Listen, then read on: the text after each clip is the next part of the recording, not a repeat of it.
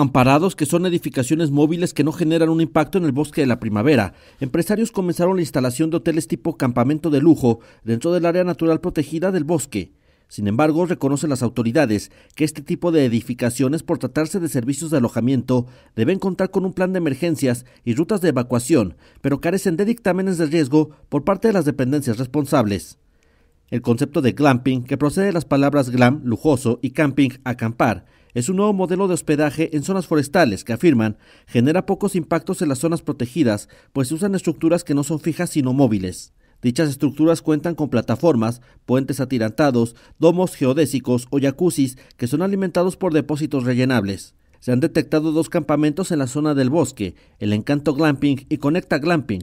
En ambos hoteles boutique se señala que se revelará la ubicación de los hoteles después de realizar la reservación, antes no. Ambos, según imágenes satelitales, se encuentran dentro del polígono del bosque de la primavera. A decir de expertos, estos hoteles generan un impacto medioambiental a pesar de sus estructuras ligeras. Si la Profepa, en cuanto reciba la queja, en cuanto la reciba, si no hay un estudio de impacto ambiental presentado y no hay un dictamen eh, generado por el gobierno federal, automáticamente tienen que clausurarla. Sin duda y señalamientos. Si la obra no está clausurada, si la denuncia del comité es ante la Profepa, eh, obviamente nos dice muchas cosas. Primero, pues que no hay suficiente vigilancia en el bosque, pero igual, ¿qué va a generar eso? Ah, bueno, pues los servicios, el apoyo, las idas, las venidas, otra más, otra más, otra más, como sucedió en Mazamitla, como sucedió en Tapalpa, que de repente una cabaña y al rato las cabañas se están acabando el bosque.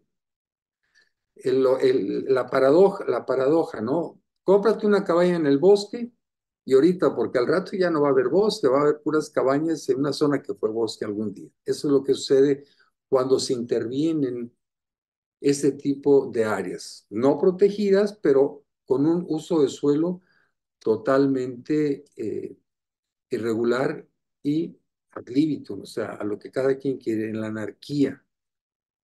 El bosque de la primavera no está ni bien manejado, ni bien vigilado, ni tampoco está teniendo una actividad de mejora continua.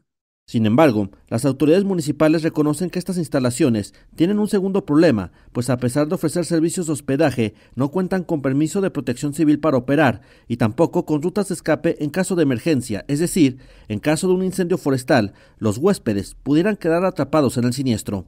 Entonces es algo que, estamos trabajando para, tratar de buscar justamente salidas. Evidentemente la gente va a visitar estos sitios y no le va a interesar si hay o no. Si está la, oferta comercial disponible, de alguna manera van a buscar, lo, que, lo que queremos es con la vigilancia que implementamos, tanto con Comisaría General de Seguridad Pública, tanto con nosotros, en coordinación con CEMADED, OPD de, la, de Bosque de la Primavera y con AFOR, pues de alguna manera responder de manera ágil. ¿no?